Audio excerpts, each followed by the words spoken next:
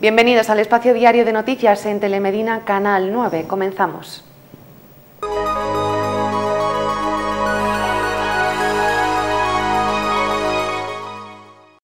Servitrama Transportes te ofrece esta sección.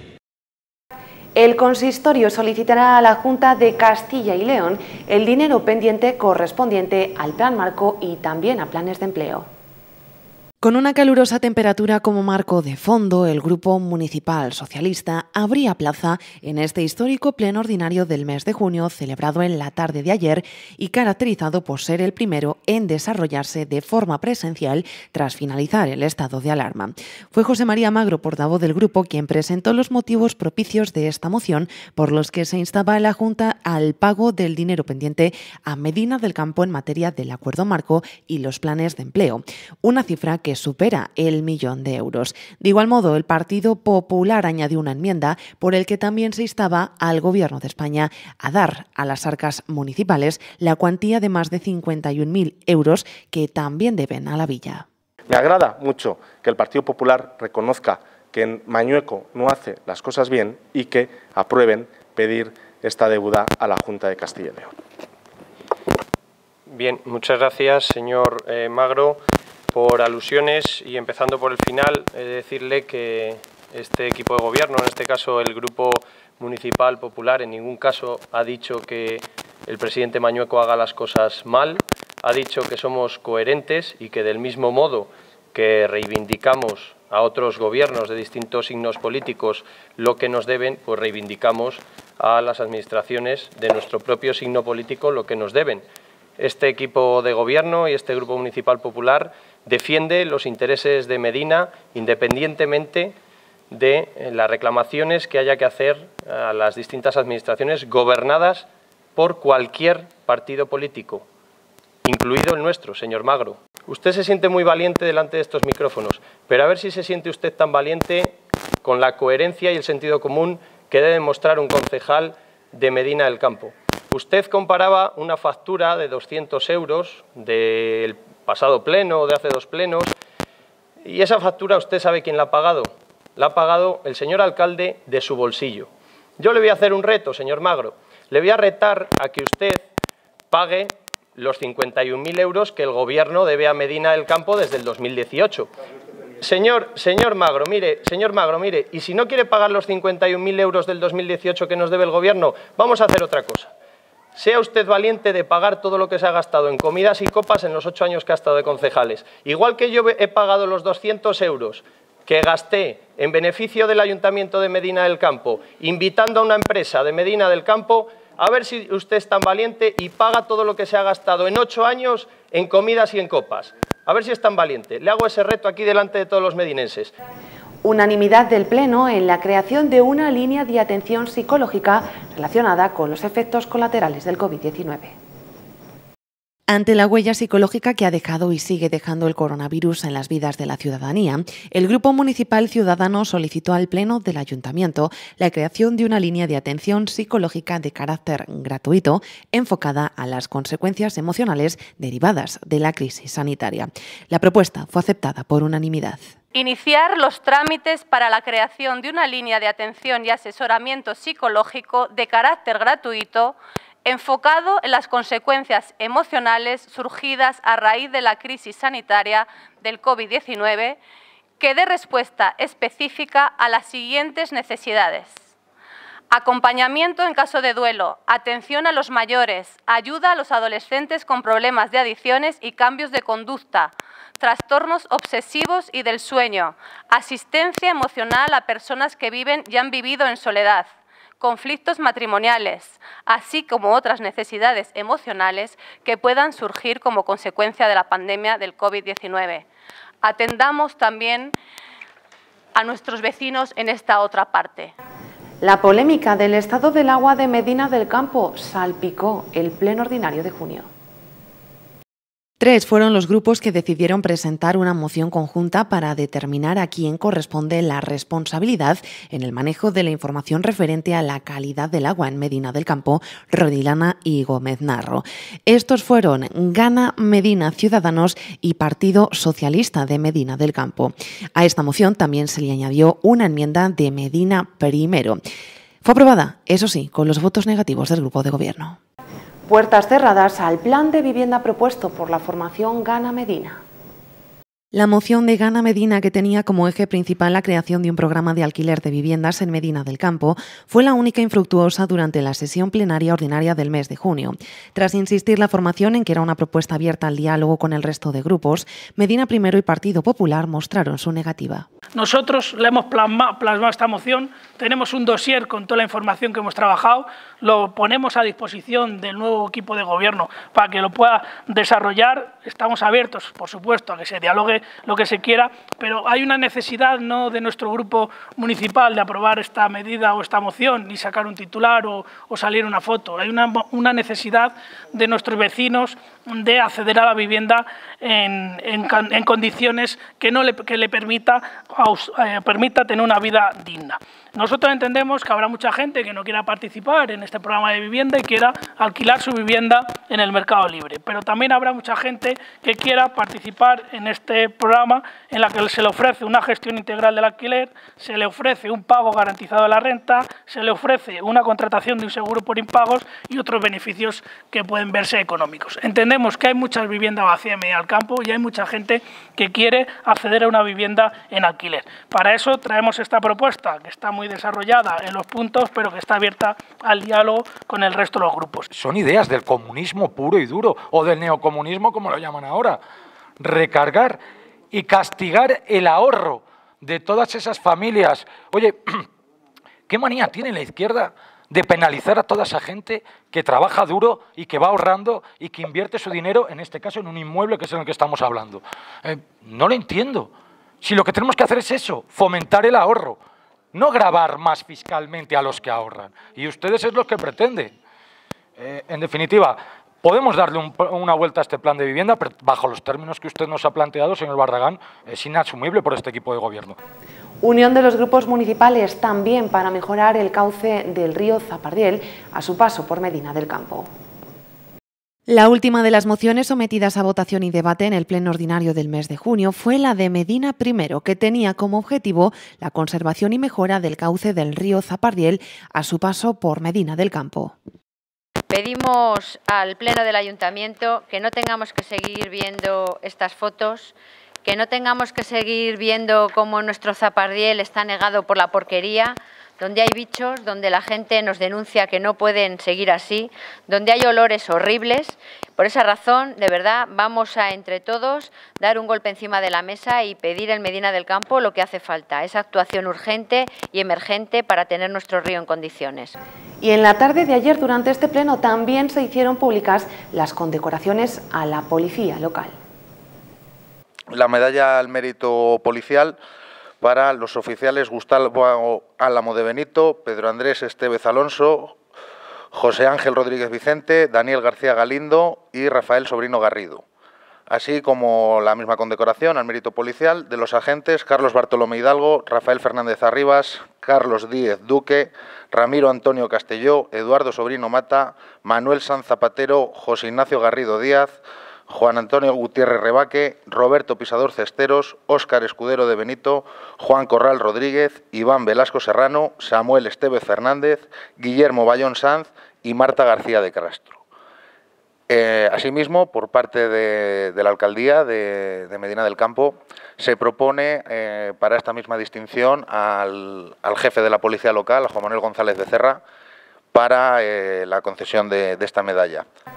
También hubo tiempo para hacer diversas metáforas, en este caso relacionadas con Star Wars. Cuando hablamos de IGEA es hablar de otro mundo, porque al fin y al cabo lo que le pasa a IGEA con Ciudadanos pues daría para, hablar, para una novela de ciencia ficción y todavía tendríamos para una saga como Star Wars, de nueve episodios y volveríamos al primero en el último. ¿no? Pero eh, cuando hablamos de Mañueco, al fin y al cabo, como Mañueco es la continuidad de Herrera, que al fin y al cabo Herrera es la mancomunidad de ese señor que no me acuerdo, y ese señor que no me acuerdo es la continuidad de Aznar, que luego acabó gobernando España, pues así nos luce el pelo. Por otro lado, la formación Gana Medina solicita la colocación de la bandera arco iris en la fachada del ayuntamiento por el Día del Orgullo LGTB. El Grupo Municipal de Gana Medina ha solicitado al Ayuntamiento la colocación en el balcón del consistorio de la bandera arco iris, de manera visible y destacada, con motivo de la celebración del Día del Orgullo LGTBIQ, el 28 de junio.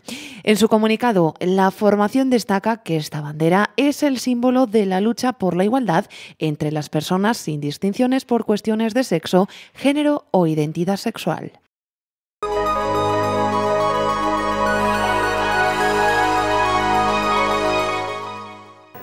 El Ayuntamiento de Fresno el Viejo presenta una serie de actividades alternativas para disfrutar del verano. En este año atípico, con la intención de suplir las actividades representativas veraniegas de piscinas y fiesta, el consistorio ha ideado una serie de actividades para los meses de julio y agosto. Entre todas las actividades que se presentan, destaca como novedad Fresnarte, música, arte, teatro, una actividad que viene para quedarse en el programa veraniego de actividades de Fresno el Viejo. Deporte, arte y cultura tendrán cabida en el verano de Fresno el Viejo. El programa completo ya se puede consultar en La Voz de Medina Digital. Por otro lado, Abogados Cristianos interpone una querella a la Diputación de Valladolid por colgar la bandera LGTBI en su fachada. La Asociación Española de Abogados Cristianos ha interpuesto una querella por prevaricación contra el presidente de la Diputación de Valladolid, Conrado Iscar, teniendo como motivación el colgar de la fachada la bandera LGTBI. En un comunicado hecho público en su propia página web, la presidenta de la Asociación de Abogados Cristianos, Polonia Castellanos, advierte que en un escrito de la Diputación responde a la petición de abogados cristianos asegurando que no se trata de una bandera sino de una colgadura. Por otro lado, también el Ministerio de Igualdad presenta su campaña para el Orgullo 2020 y se compromete con los derechos de todas las personas LGTBI. El acto principal de este orgullo será la conmemoración de los 15 años del matrimonio igualitario. Para ello, el próximo 30 de junio se llevará a cabo un acto institucional de conmemoración de los 15 años del matrimonio igualitario con la presencia del presidente José Luis Rodríguez Zapatero y otros protagonistas de ese momento histórico. El acto estará coorganizado como recuerdo a la figura de Pedro Cerolo con la fundación que lleva su nombre y que está dedicada a la preservación de su memoria. El acto, debido a las circunstancias en que nos encontramos, será retransmitido online y no admitirá público.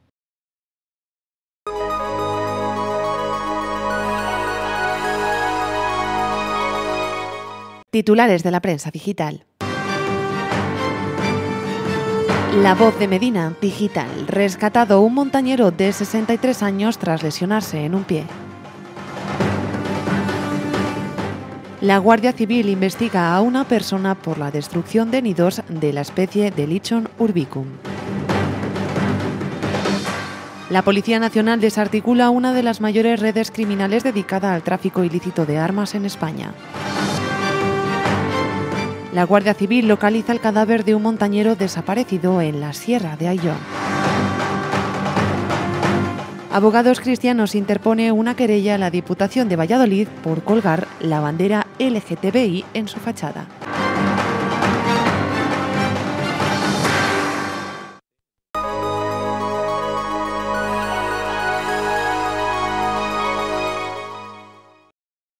Descubre Más Agrícola.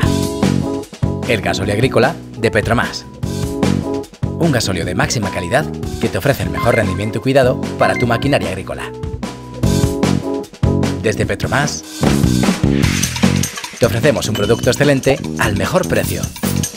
Infórmate de nuestro programa low cost en masagrícola.petromas.com o llamándonos al 983 81 1000.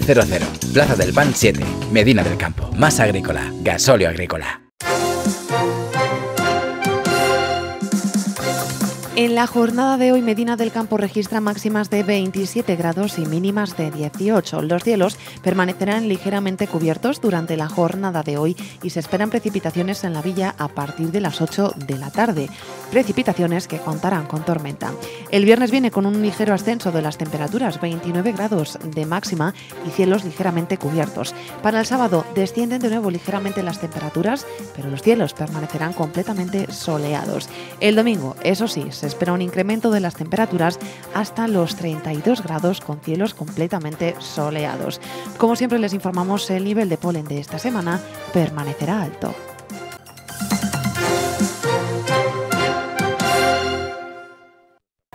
A continuación les dejamos con la previsión meteorológica nacional.